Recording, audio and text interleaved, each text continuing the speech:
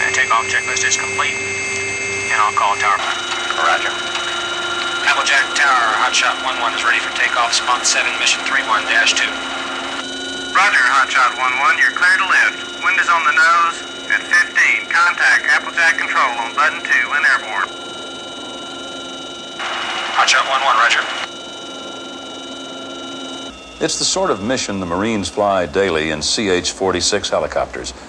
And yet, this one's just a little different. In fact, it's a simulation.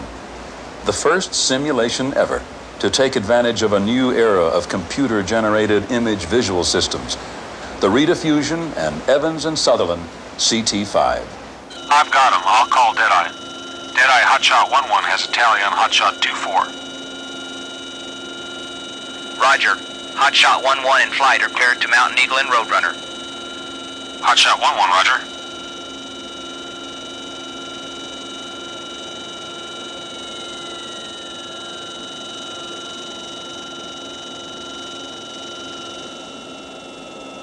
As these formation sequences show, CT 5 is the most operationally capable CGI visual ever developed.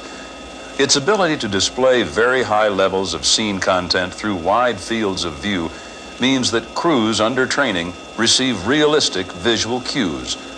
Advanced modeling techniques allow full mission tactical scenarios like these to be practiced in total safety. Hotshot 1-1. Hotshot 2-4 has Mountain Eagle inside. Hotshot 1-1, roger. Outside, shipboard operations scene detail like this helps train pilots for steep mountain landing sites as well as to confined area landing sites, which Hotshot 1-1 is now approaching. 100 feet, looking good.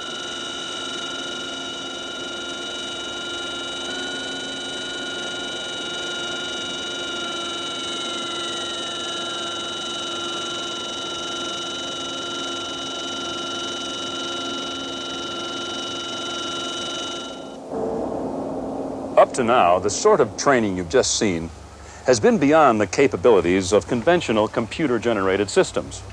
With CT5, Evans and Sutherland, in collaboration with Rediffusion Simulation, has advanced the technologies on which those systems were based. Simulator training, as a result, has moved into a new era. The CT5 visual system installed on this Reflectone CH46 simulator is the first of three CT5s for Marine Corps helicopter pilot flight training. One will be used to provide a simultaneous visual capability for a second Reflectone CH46 and a Sperry Seacor CH53D simulator. The third will be installed on a CH53E simulator. Though eminently suited to produce the large, highly detailed fields of view required for helicopter operations, Evans and Sutherland's powerful image generating computer makes the system uniquely capable of very high capacity scenes over wide fields of view.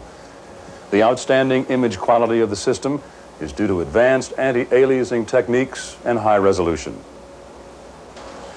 Developmental databases have been modeled to show CT5's potential for tactical mission simulation.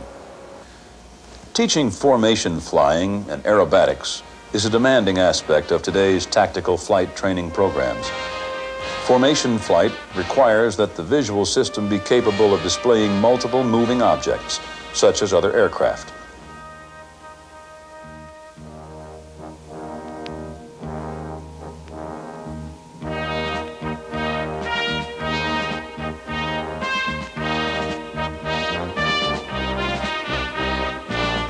A unique feature of CT5 is its ability to color blend polygons in the modeled scene. This color blending is used to portray the F-16 afterburners with a high degree of realism.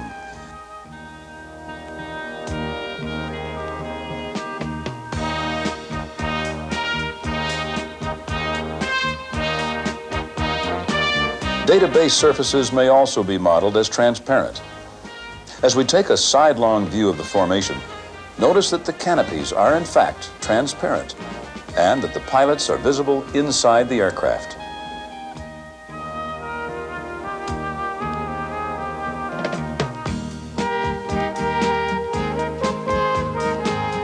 Follow a single F-16 close up as it executes an aileron roll. Because of the high scene capacity of the system, considerable detail may still be seen on the ground below. As the F-16 begins its roll, the shading on the fuselage changes to reflect the orientation of the aircraft relative to the position of the modeled sun.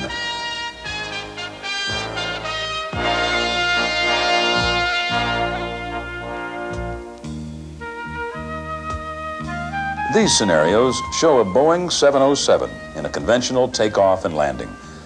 Watch how CT5 is able to manage very small scene detail. The windows and control surfaces on the 707 and the expansion strips in the runway are smaller than a pixel in size, yet they behave properly while moving through the scene.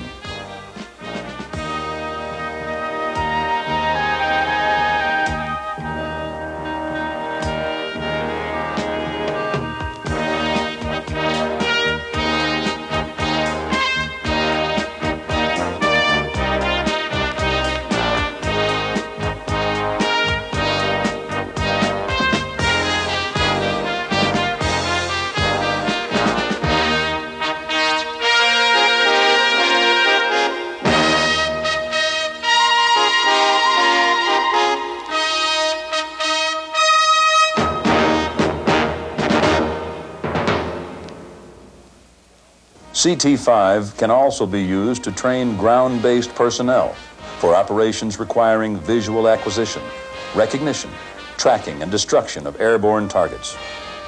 In these brief scenes, a MiG-27 is identified, tracked, and engaged. The ground-to-air missile you see is one of the weapons effects CT-5 can simulate.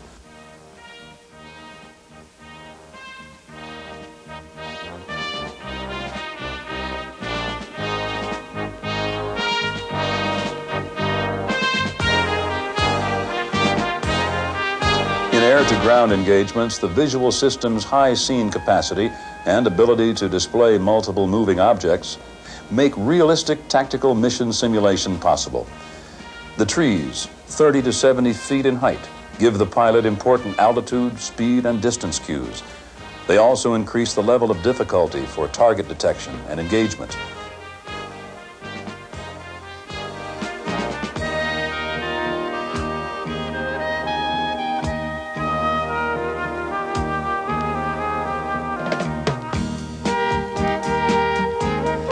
This model of a tank is highly detailed and interesting. More important, however, is the generic desert on which the tank is staged. The desert in this scenario contains an abundance of three-dimensional textural objects, including rocks, small hills, bushes, cacti, buttes, and mesas. In this brief flight, we pursue and overtake the tank. Without the three-dimensional visual cues, the pilot would find it difficult to determine altitude and rate of closure without reference to his instruments.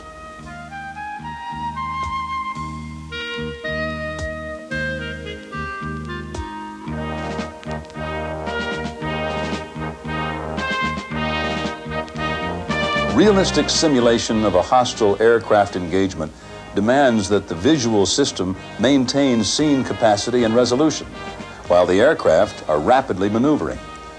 To realistically represent this flight regime, the visual system must present to the pilot adequate cues to judge altitude and ground speed.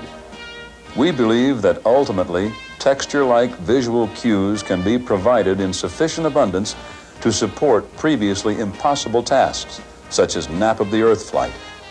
Visual cues such as those shown in this scenario are far superior to the simple two-dimensional texture approach used in less sophisticated systems.